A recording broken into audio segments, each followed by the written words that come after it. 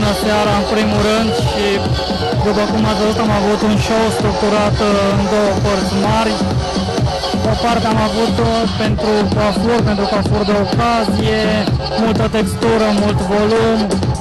Uh, în a doua parte a show-ului am avut mai multe tunsori, tunsori clasice, tunsori creative, dar în același timp și tunsori foarte, foarte noi care urmăresc tendințele anului 2011.